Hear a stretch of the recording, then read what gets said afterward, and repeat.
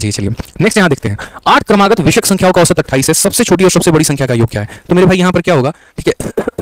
मान लीजिए एक, दो, तीन, चार, पाँच, छह, सात, आठ। ये आठ संख्या है। पहली संख्या सबसे स्मॉलेस्ट होगी, आखिरी संख्या हमारी सबसे लार्जेस्ट होगी। तो जो एवरेज होगा वो मेरे भाई, क्या होगा? First term plus last term divided by कितना? टू लेकिन फ़र्स्ट टर्म के जगह पे हम क्या लिखेंगे? तो फ़र्स्ट टर्म के जगह पे, क्योंकि जब हम लगातार की संख्या लिख रहे होते हैं ना तो फ़र्स्ट टर्म ही क्या होता है? स्मॉलेस्ट नंबर होता है। और लास्ट टर्म ही क्या होता है? लार्जेस्ट होता है। उस केस में हम ये कह सकते हैं कि सर हमारा जो एवरेज होगा smallest plus largest by two होगा।